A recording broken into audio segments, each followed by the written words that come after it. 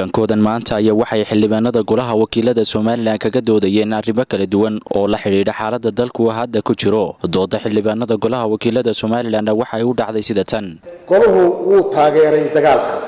Dowladda wuu isku berbertaagay waynu hambalyeennay ciidankeenana waynu hambalyeennay waa mid waajib nagu ahayd bay ahayd innaga oo difaaceenna ku jiro aan isdhiganahayn waxaan odhan lahaa oo aan soo jeedin lahaa inaynu dowladdeenna ku boorino dadaal kastoo nabad lagu heliyayna gasho.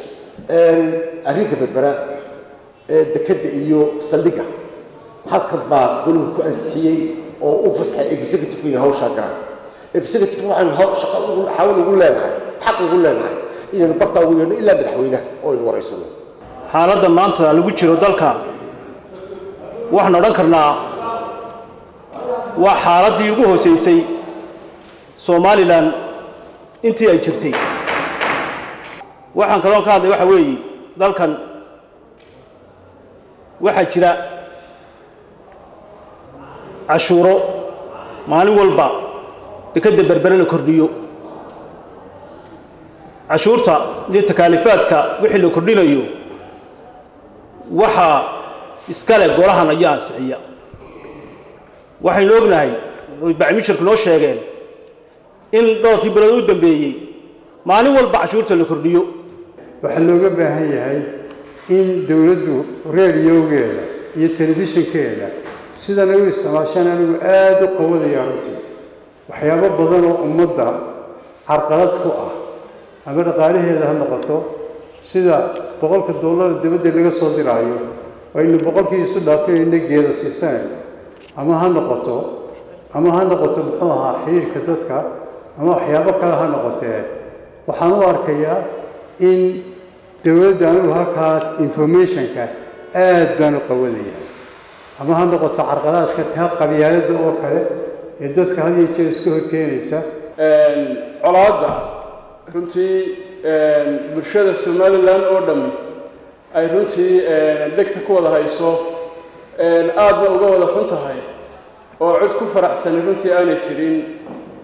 Arrintaa colaaddaasi runtii somalilan culays badan badan ayay ruaantii ku leedahay. Waa colaadda ceelaf weyn oo muddo dheer runtii soo noqnoqotay. Runtii waxun bay u baahan tahay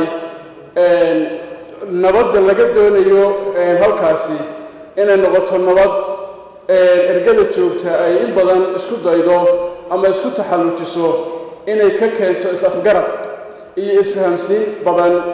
Waxa inoo taalla ka qaran ahaan sidee baan ula jaan qaadaynaa arrimaha degdega dhacaya inaynu amala awaana maaha soomaaliya soomaali soomaaliya naga dheeraystay somaliland baa hadhay way sii socotaa. Waxbay nooma yaallaan ma aha inaynu markiiba madawaal kala nimaadeen waxay doon inaynu la nimaadno.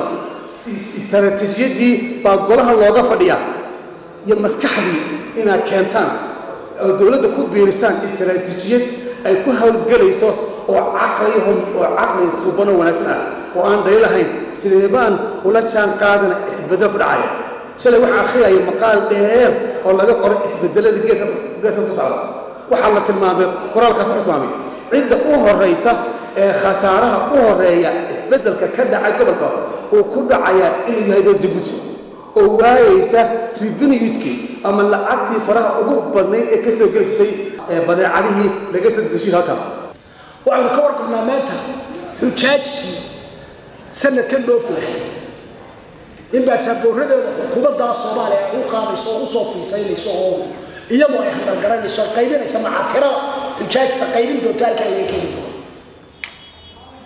waxaynu ka warhaynaa oo anugu maan aragee oo xaqiijinaya in xafiis baasaaboorrada lagu sameeya oo laga soo magacaabay xamar uu hargeyse ka furaya oo aynu ka warqabno xukuumadduna ka warqabto lagu ilaalinaya sidaasuu ku shaqaynayo waxyaalahaasoo dhamma ma muuqato tallaabooyinkii laga qaaday ee xukuumad ahaan aynu kaga hortegayna kaga gaashaamanaynay.